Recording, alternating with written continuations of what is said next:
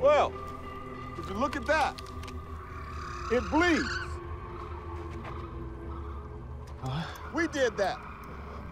We hook up with Chapman, there's enough munitions on that down sea stallion to finish the job.